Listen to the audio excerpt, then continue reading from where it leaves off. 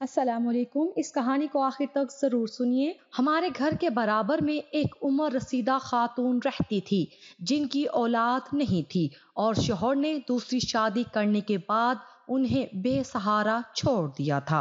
अम्मी उन्हें आंटी और हम नानो जी कहते थे। वो तीन वर्ष से इस घर में तनहा रहती थी। ये उनके वालिद का घर था। नानो सुरैया जवानी में मुलाजमत करती थी। फिर रिटायर हो गई तो पेंशन की रकम से गुजारा करने लगी।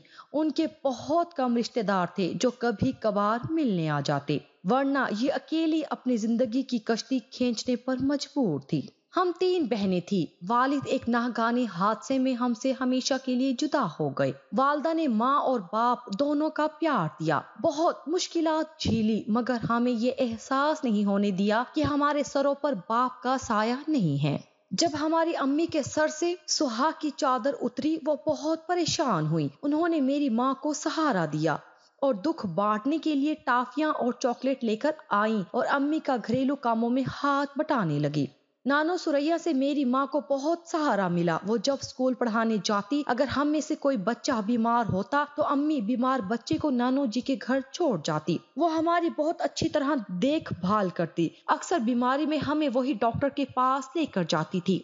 सच कहूँ तो अगर नानो सुरैया का घर पड़ोस में ना होता, मेरी अम्मी को अकेले ज़िंदगी की मुश्किल से मुकाबला करना बहुत दुशवार हो जाता। वो अम्मी का सहारा और अम्मी नानो जी का सहारा बन गई थी। वक्त गुजरता रहा। अम्मी उम्र सीधा, हम जवान और नानो सुरैया बूढ़ी होती गई। मेरी दोनों बड़ी बहनों ने तालीम मुकम्मल कर ली और अम्मी की कोशिशों से वो अपने घरों की हो गई। अनम और इकरा की शादी के बाद अम्मी बीमार पड़ गई। मैं ज़्यादा उनके करीब रहने की कोशिश करने लगी ताकि वो अनम के लिए उदास ना हो। मेरी दो बहनों की शादियाँ दो सगे भाइयों से हुई, जो अपने खाविंदों के हमरा बेरोने मुल्क चली गई। हमारा मकान काफ़ी बड़ा था और हम माँ बेटी इतने बड़े घर में अकेले रहते थे। इस वजह से भी अम्मी जान का जी घबराता था। तभी वो अब नानो सुरैया से कहती थी कि, आंट के अपना घर किराए पर उठा दीजिए और आप हमारे पास आकर रहिए। पहले तो वो ना मानती थी, फिर उन्होंने मेरी माँ की तजवीज मानकर अपना घर किराए पर दे दिया और अपना सामान हमारे घर के एक पोर्शन में मुंतकिल कर दिया।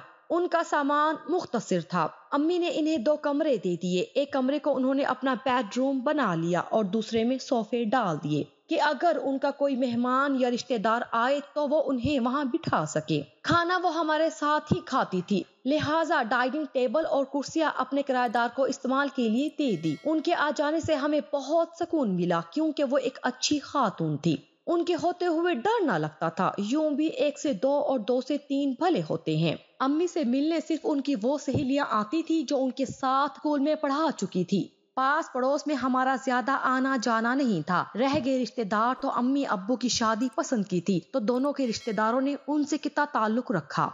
तभी हम ददियाल और ननियाल से महरूम थे। वालिद साहब ने विरसे में कुछ जायदाद छोड़ी थी। शुरू में अम्मी को इल्म ना था, लेकिन एक रोज वालिद के एक कज़न आए और उन्होंने कुछ कागजात मेरी माँ के सुपर्द करके कहा कि ये आपकी और आपके बच्चों की अमानत है। जो आपके शोहर ने मेरे पास रखवाई थी। ये साहब वकील थे। बाद में उन्होंने अम्मी का काफ़ी साथ दिया। वालिद साहब की जायदाद में से हमारा हिस्सा अम्मी को मिल गया। ये वो दिन थे जब अम्मी की सेहत जवाब दे रही थी। उन्होंने मेरी बहनों का हिस्सा उन्हें दे दिया और मेरा हिस्सा आंटी सुरैया के हवाले करके कहा कि तुम मेरी इस बेटी की सरपरस्त हो। मेरे बाद इसकी हिफाजत और पासदारी करनी है। क्योंकि उसकी बहनें तो सिर्फ़ एक माह के लिए पाकिस्तान आई थी। जाने फिर कब वो आई। ऐसा कहने की वजह ये थी कि अम्मी को डॉक्टर ने बता दिया था कि उन्हें कैंसर है। काफ़ी दिनों तक उन्होंने मुझसे ये बात पुशीदा रखी। चाहती थी कि जल्द अज जल्द मेरी शादी कर दे ताकि मैं एक महफूज घर में चली जाऊँ। ऐसा ना हो कि मैं माँ की बीमारी का सुनकर शादी से इनकार कर दूँ। वही हुआ जिसका उन्हें डर था। मुझे पता चल गया कि अम्मी को कैंसर है। क्योंकि एक रोज आंटी सुरैया की बजाय मैं उनके साथ अस्पताल चली गई और वहाँ एक नर्स ने मुझे बता दिया कि तुम्हारी माँ कैंसर की मरीजा है। इस हकीकत को जानकर मुझे किस कदर सदमा हुआ बता नहीं सकती। ऐसा लगा जैसे मुझ पर बिजली गिर पड़ी हो। बड़ी मुश्किल से जब्त करके घर तक पहुँची और आते ही फूट फूट कर रोने लगी।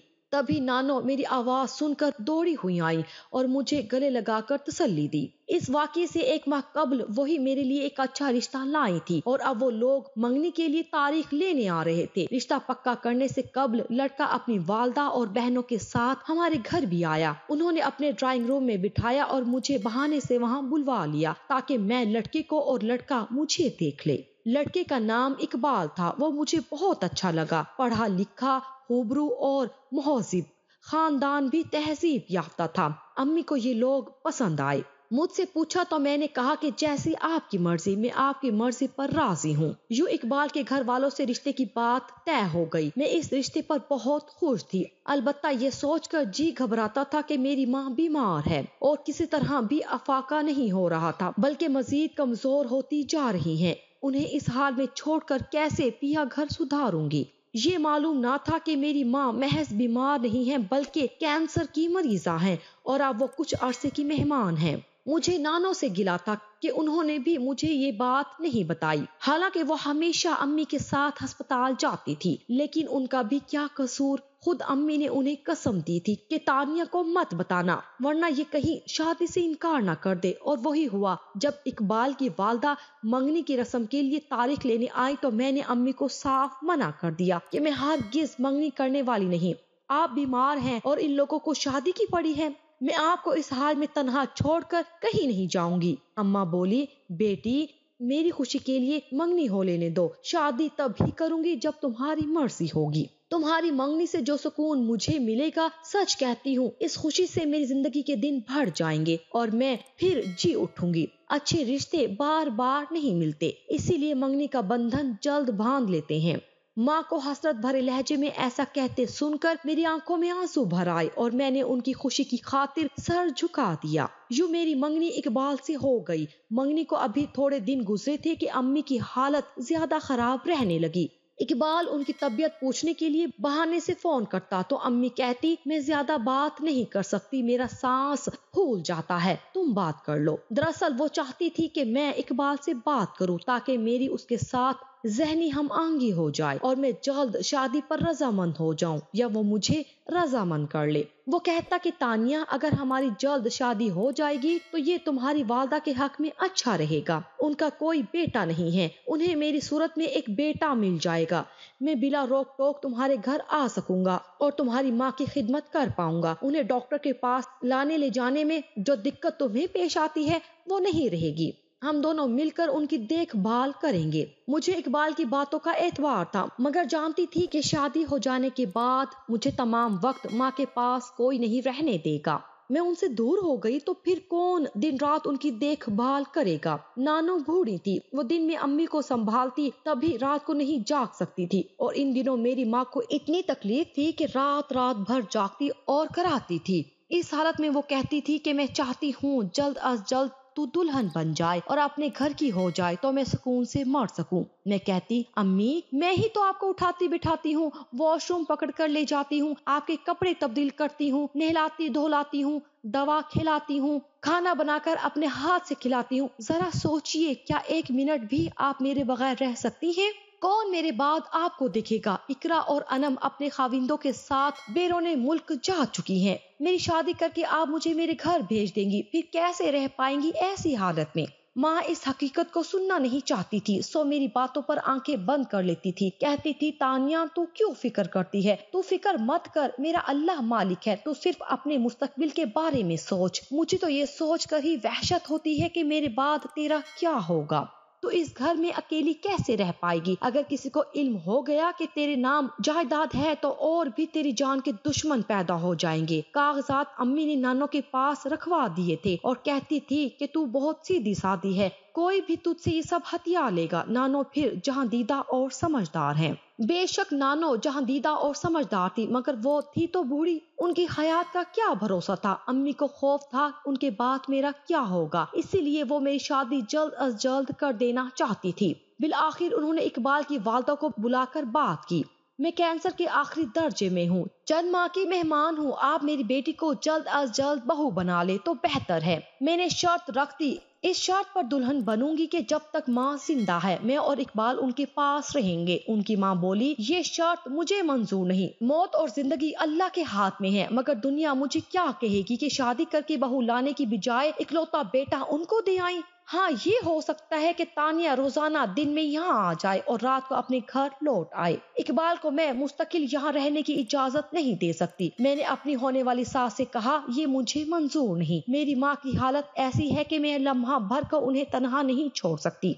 मेरे इनकार पर इकबाल की अम्मी का मुँह बन गया और वो रंजीदा होकर चली गई। अम्मी किसी तौर नहीं चाहती थी कि इकबाल से बना बनाया रिश्ता टूट जाए, मगर मैं भी हकीकत से आँखें नहीं चुरा सकती थी। जब माँ ने बेवगी में रात दिन एक करके मेहनत मुशक्कत करके हमें परवान चढ़ाया था, कैसे उन्हें करीबुल मर्ग दिनों में छोड़कर खुशियों के सफ़र पर रवाना हो जाती? यूँ मेरी शादी का मामला खटाई में पड़ा। इकबाल ने मुझे फ़ोन किया तानिया, तुम फ़िलहाल मेरी अम्मी की बात मान लो। जब हमारी शादी हो जाएगी तो मैं तुम्हारा पूरा साथ दूँगा। तब मैंने कहा कि अच्छा सोच कर जवाब दूँगी। एक दिन इकबाल नानो से मिलने आया। उन्होंने बता दिया कि वो इसके घर, इसकी वालदा से मिलने जाएँगे। हमें ये इल्म ना था कि नानो क्या कर रही हैं। अपनी दानिश में वो मेरा भला कर रही थी, मगर बुरा हो गया। यूँ कि उन्होंने जाकर इकबाल की माँ को बताया कि लड़की के नाम काफ़ी पैसे बैंक में जमा है, जो उसके मरहूम बाप की विरासत की वजह से मिला है। और ये मकान भी जिसमें माँ बेटी रहती हैं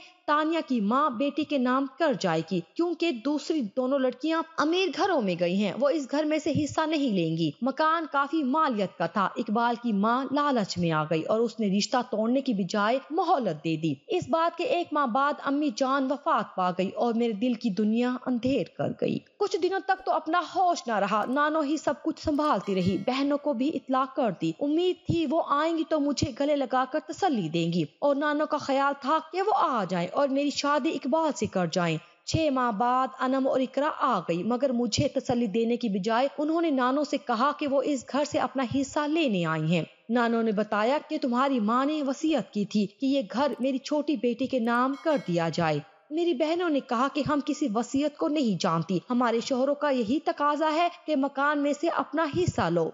जब मैंने सुना, मुझे सदमा हुआ, लेकिन मैंने नानो को समझाया कि आप अम्मी की वसीयत को रहने दीजिए। जो इनका हिस्सा बनता है, ये ले लें, ताकि बहनों का प्यार भरा रिश्ता खत्म ना हो जाए। मैं खुशी से हिस्सा उन्हें देने को तैयार हूँ। मैंने अपनी बहनों को राज़ी किया और वो मकान बेचकर चली गई।